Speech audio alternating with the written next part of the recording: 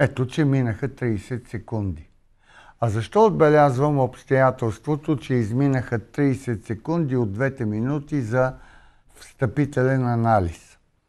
Защото проблемите а, в света, в Европа и конкретно на Балканите, още по-конкретно казано в Македония, изискват всекидневни анализи. Те трябва да бъдат максимално откровенни, публични, базирани върху огромен обем познание и липса на страх да се казва истината. За такива анализи минута и половина е твърде кратко време. Това е един много особен вид медиен популизъм. За супер кратко време да казваш неща, за чието изводи са нужни тонове книги като предварителна информация за анализ. Точно тези тонове книги липсват на европейската политика, особено видимо липсват на българския политически елит. Но дори той да е преминал през тези тонове книги, да допуснем това, на него му липсват основното качество. Смелостта да се изправи и да казва истината, без да се страхува от последиците.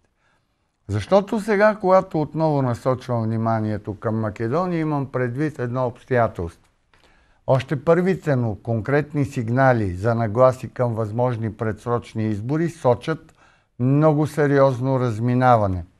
Първо, опозицията ВМРО ДПМН е постави условия, които биха неприемливи и тежко компрометиращи, ако случайно СДСМ се съгласи с тях – за досегашната политика на Зоран Заев. Второ, партията на Али Ахмет и Демократичния съюз за интеграция обявява, че още е рано за предсрочни избори, тъй като трябва да се използват всички парламентарни механизми за осигуряване на мнозинство за промени в Конституцията. Това обаче няма как да стане ако не се опре на легитимна политическа воля, което означава не да се търсят гласове поединично, а да се работи с партийни позиции, прозрачни, легитимни, открити пред обществото политико-партийни позиции.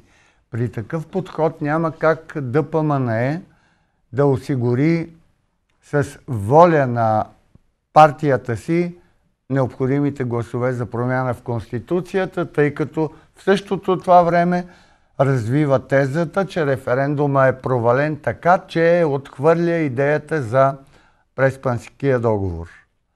От тази гледна точка, мисля, че сега ще се води една битка за печелене на време, за протакане, за надлъгване, каквито битки се водеха и при избора на Талат Джафери за председател на Македонския парламент, а по-късно и при обсъждането и гласуването на закона за езиците.